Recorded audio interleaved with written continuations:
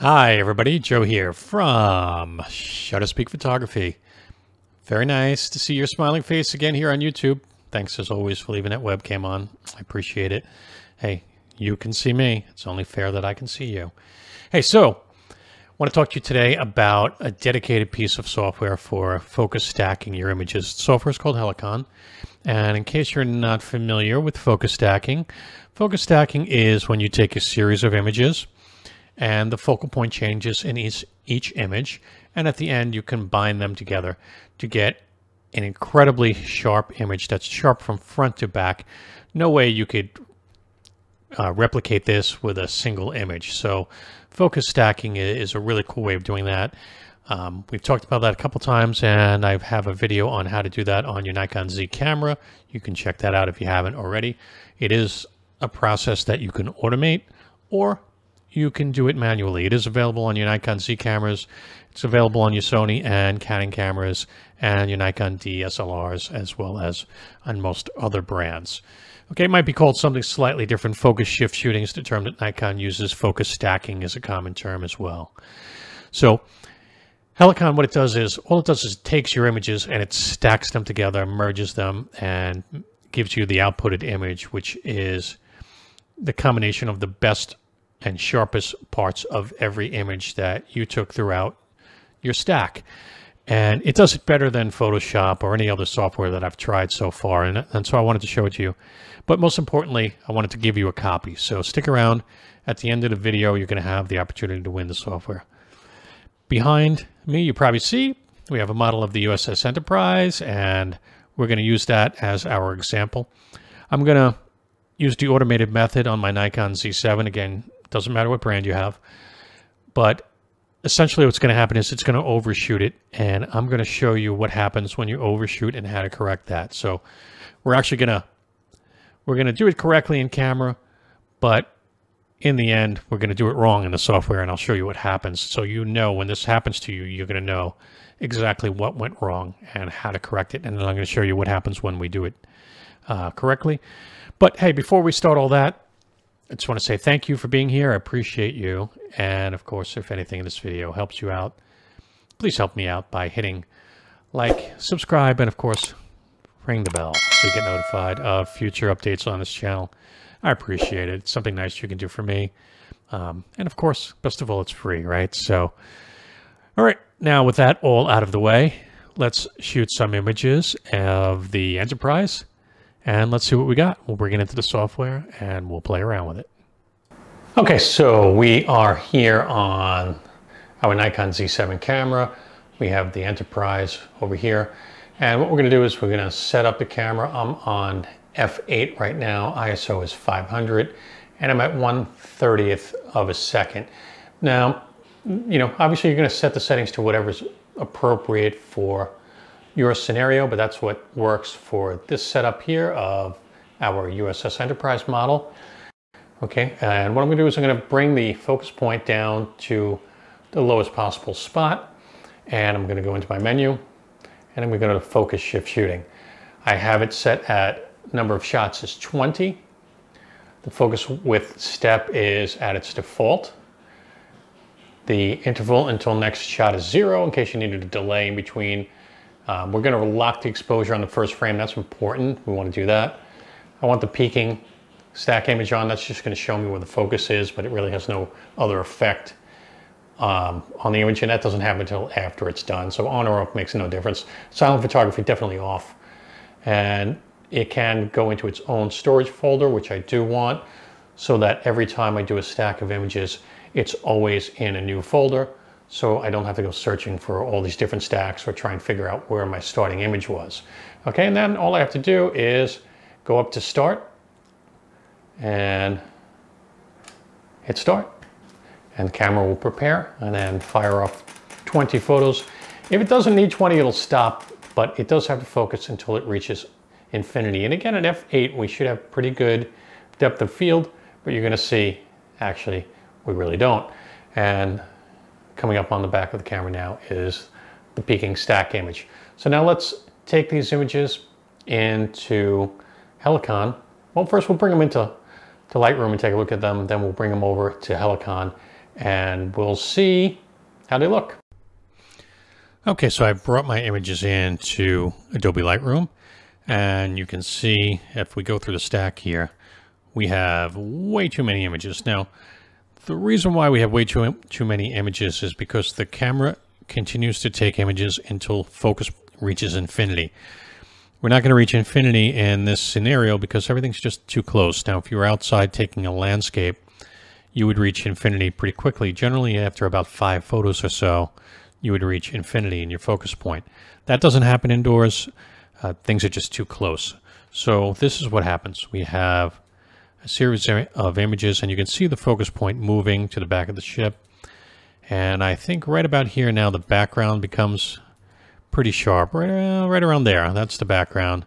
And then we just continue to get blurrier and blurrier and blurrier, and blurrier as the camera continues to take pictures, trying to get you that infinity point. So let me show you what would happen if we took all 20 of these images and just brought them into Helicon right now. So if we take all of them, we're just going to select them all, say export, and let's see, here it is, and I'm going to send it over as DNGs, digital negatives. And these are going to open up in Helicon. It's actually Helicon 8, by the way, in case you're interested, 8.1.1 Pro. Okay, so we have all of the photos loading in. You see them on the right-hand side here. Okay, so really one of the nice things about this software is it is super easy to use. And in terms of the default settings that you see like right now on my screen, I can pretty much just hit uh, render and this would work. There are three different methods of rendering, but those are for very specific use cases and 99% of the time you're just going to use the default method B. So I'm just going to go ahead and hit render. I'm going to show you what happens. So it's going to go through all of these and it's going to basically depth map each one of these photos and create for us a uh, focused stacked image.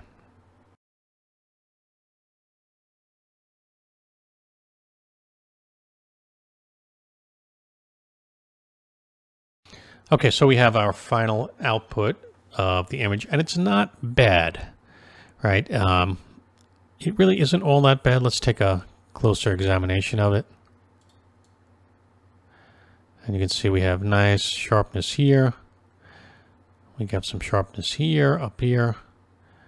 This looks great all the way to the back.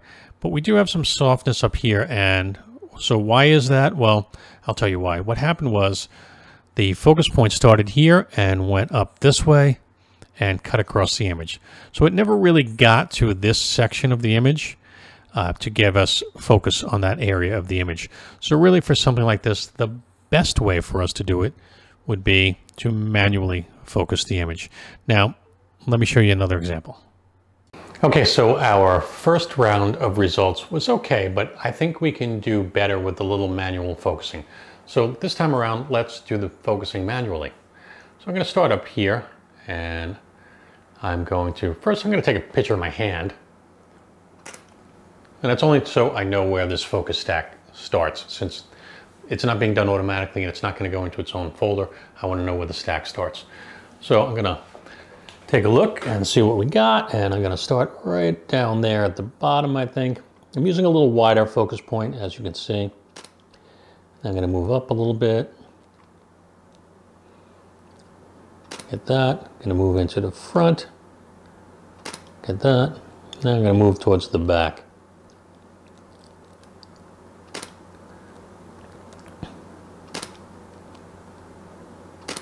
You notice I'm not doing these in any, well, I'm kind of doing them in a particular order, but I'm not completely concerned with going in any very specific order because the Helicon software is going to take the sharpest points of this image um, regardless of what order I took them in. So let's now bring this group in and take a look at it. Okay, so we are here in Lightroom. You can see my hand there, so we know where that stack starts. So I'm going to select the photo after that. I'm going to scroll on down to the end here. And I'm going to export these as DNGs, digital negatives, right into um, Helicon Focus 8. And away they go. And in a moment, they're going to open up and we're going to see if we get a little bit better image. And I think we're going to. Okay, so we have our images loaded. And now all I'm really going to do, again, uh, method B, depth map, is the method that I want to use. I'm just going to hit render. And let's let the software go through all of these images and see what it can produce for us. All right, so it is completed and you can see we have a much sharper image this time because we did take those pictures manually. So if we take a look, you can see we have nice sharpness here across the lettering, the front edge, and all the way to the back of our USS Enterprise. We are nice and sharp. So definitely doing it manually there was the way to go. Um, but of course, you could have done it manually as well. You're just not going to get in this scenario because the image goes from left to right. We're not going to get as sharp an image as if the depth of field went from foreground to background like you would in a landscape. I'm going to show you one more image, uh, not something that we shot today, but I just want to show you another problem that you could run into, and that's kind of a, a haloing effect. And I'm going to show you that in case you encounter it so you know how to fix it. Okay, so here we have our Colonial Viper.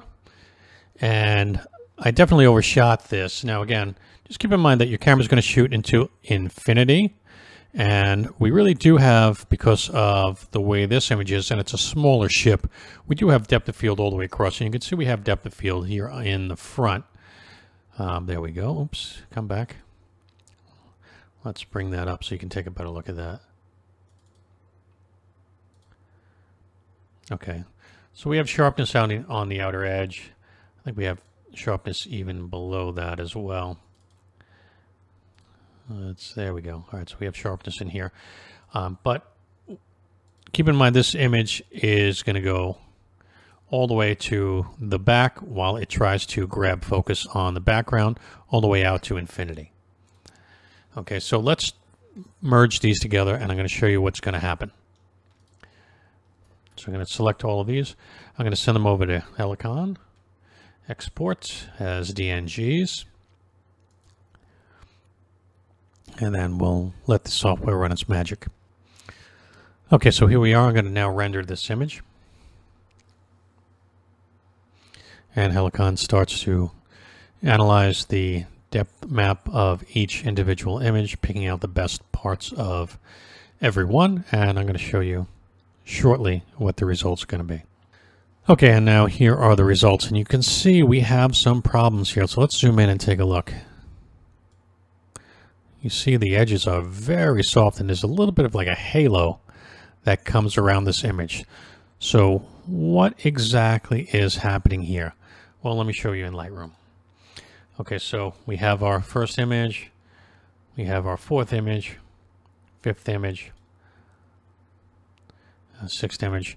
But as we go further down, you see how we start to get a blur? And what's happening now is the edges of the blur is now bleeding into our focus stacked image. And that's why we're seeing that dirty halo uh, around the focus stacked image. Let's just take the first six and take one through six. I'm going to export these over and let's see what happens when we just use these. Oops, I got to go to export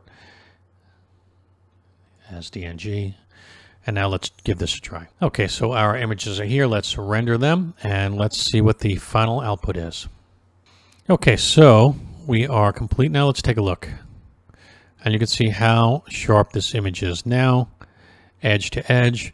We don't have any of those halos from the blurry images because essentially what we did was we just brought in too many images and once we took those blurry images out we ended up with a much sharper end result. Okay, so here's our final image returned into Lightroom, and you can see how sharp it really is uh, edge to edge. So it did a great job. Definitely the manual focusing method was the way to go with this one okay? But typically if you're doing a landscape or something similar, you can do the automatic method uh, as long as your focus is front to back. But because this was left to right, Again, we needed to just to really do this one manually. It was the only way we were going to do it. And again, you saw the example of overstacking. If we stack too many images where our subject becomes blurry, it's going to cause those halos around our images. So we certainly don't want that. Um, now, to the important stuff. Of course, thanks for watching. I appreciate you. If you want to win a copy of this software, it's the Pro license, Helicon 8. It's currently 8.1 at the time of making this video. There's going to be a link in the video description down below. You can enter a bunch of different ways, and uh, of course, the more actions you complete, the more points you're going to get, and more entries, and better your chance of winning. Thank you, YouTube. I appreciate you watching this, and as always, um, you know, like I said, couldn't do this without you. So thank you for being here. Hit like, subscribe, leave me a comment, of course, and let me know what your thoughts are on focus stacking. And I look forward to seeing you on the next one. Bye bye, YouTube.